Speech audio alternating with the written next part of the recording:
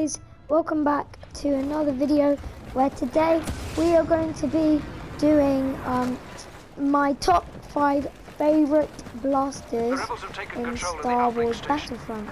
So um, basically before we begin I just want to say that I have a new Instagram account. Uh, it's pretty, yeah, I posted a couple times um, so just go ahead and follow it, the link will be in the description. Um, so let's just get in with the video. So, top five favourite weapons. So, basically, um, on top five, five would be um, the TL50 Heavy Repeater. So this gun is um, is quite good, but it's quite unique. Um, it's one of the only guns um, well, one of two of the only guns with a secondary fire feature instead of a zoom-in feature. So as you see when I pull the left trigger and I click um, the fire button, it fires a um, an ion pulse, which is meant more for um, vehicles than people, but it still works to kill other people. So the rate of fire is the highest in the game as for now, and um, it's but the damage, the damage is reasonably low, but it makes up for it with that high rate of fire, as you can see. And it also has uh, a different crosshair from any other gun. It has like a Y sort of crosshair. And the bullets are quite light, they travel very fast. But this gun is mainly for short range. Please note that, because on long range, it will probably let you down as to the spread. As you can see, spreading all over the place just doesn't really work. So, uh, that is the TL50 repeater. So, so next up would be, um, so on, on in my number four spot would be the A280C. So this gun, I'm sure you've seen it many times.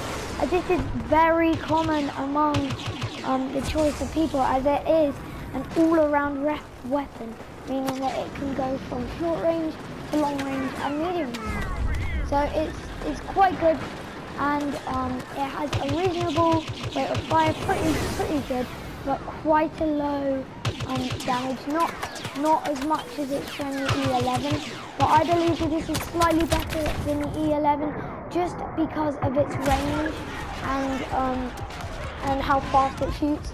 Like, I know the E11 would probably bring a close range situation, but these are better for medium to long. And I, I believe that this is the gun that I have been killed most with. As lots of people have been using it. Even though it is the default gun, it is very common and a very good weapon that you, that you can unlock. As you can see, I killed that player pretty quickly and it has it has no second fire feature.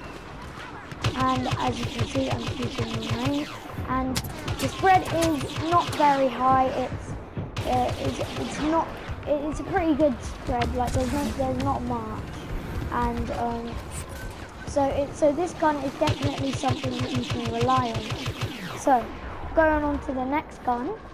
The next gun for me would personally be the EE3. Now, I'm, I'm probably, a ton of you right now are probably saying, what, but the EE3 is the best gun in the game. Uh, um, that is just your opinion. I have, uh, this is my opinion, and this gun is very nice looking. It is the weapon of Boba Fett, and it shoots in a three round burst. As you can see, I shoot in every clip I do, shoots three rounds. So it's obviously very powerful, has quite a high rate of fire, um, but my but uh, my vision for the rate of fire is that you click lightly on the button instead of heavily, because it, it is a long-range weapon and it can shoot very quickly and kill enemies very quickly if you if you use the burst right. So not many people, like I know this is the weapon of choice for a lot of people, but some people don't like it because of its burst. There are three weapons in the game of burst, burst, and I'll come to that later on. And this gun, as I've not said, is a medium to long range gun, similar to the A280C, has pretty good rate of fire, good damage, especially because it's a, um, a three round burst and is generally just a weapon that you can also rely on and that is just worth getting.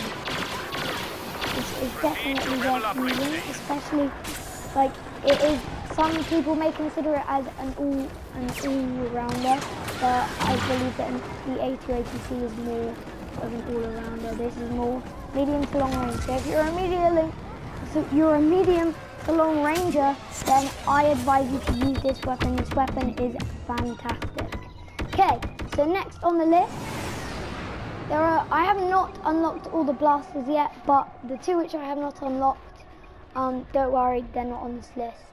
Um, so the next is probably for me personally in the number two spot is gonna have to be the SE14C.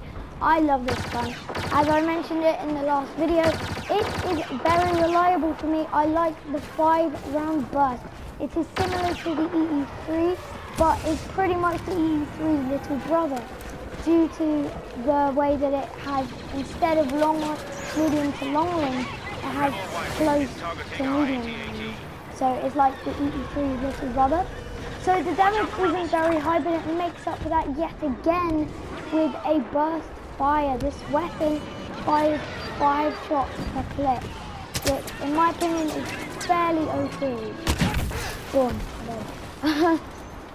and I, I just rely heavily on this gun. I use it a lot, and I think that it is for um, anyone can use it, but you just need to get used to the burst on some weapons.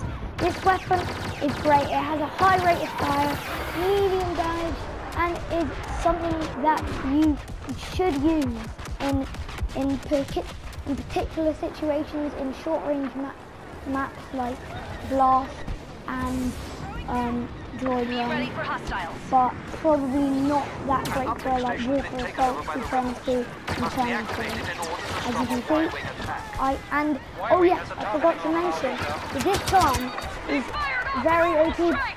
One of the reasons is because it can do, as I as I just shown, one click burst kills. So that means if you're at close range, it is capable of doing a one click kill, which is very, very good. And I, I believe that, that that is just outstanding because you're at close range, you just click once, it shoots all its shots really quickly and boom, they're dead. That is something that you can rely on. And for the number one spot on my list, I'm having to go to the EE4. This may be a surprise for some of you, as this gun is um, it, it, it's not something that many, many people use. Like, I don't see many people using it. This gun is um, yet another burst fire weapon.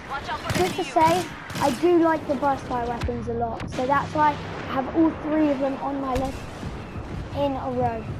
And um, so, yeah, this is this gun is very reliable. It is a, yet again a close to medium range, but I believe it's just a little bit better than the SE14C because of its range. Range is fairly good. As I said, it's short to medium, but there is a catch. If someone like a long way away is, for example, very low, you might be able to get them down to no health because um, this gun, as you can see as I fire in the sky, it shoots in random bursts. But this can be good because it means that if you don't hit your enemy once, it's not the end of the world. If you miss one shot, it's not going to be too bad. And um, it can do a one-shot burst headshot, which is pretty good. And in it has a high rate of fire, like that. Um, reasonable damage similar to the SE14C. Um, and it's just generally something that you can you can play and that you can do and you can use really easily. It can do a two round burst, um, two two uh, two shot body shot um, at close range. So that is that is pretty good in my opinion. And that is why it is my favourite gun in the game. I'm not sure if many of you saw that coming. And by the way, this list is mostly opinion. Please note that. Oh yes, and it also, this gun, I like it because it also does quite a lot of damage to um, uh, heroes on the opponent, on the opposing team. And this gun, with the focus fire star card, can dominate the map. As focus fire, um, when you shoot it, it groups the shots together so it can be used for close range then. So I think that's all pretty much all I have to say. Do remember that most of this was opinion. I'm sure that not many of you, well, not many people love the burst fire weapons, but you know what? That's just opinion, yeah? Um, and I, I, I just personally like the EE4 because it is just, it is a short and stubby barrel. It's like the F, um, EE4's short range version. So guys, I hope you've watched, I hope you've enjoyed watching this video. I'll see you very soon in the next video. Um, hopefully we'll be playing some Fortnite. So I'll see you then. Goodbye.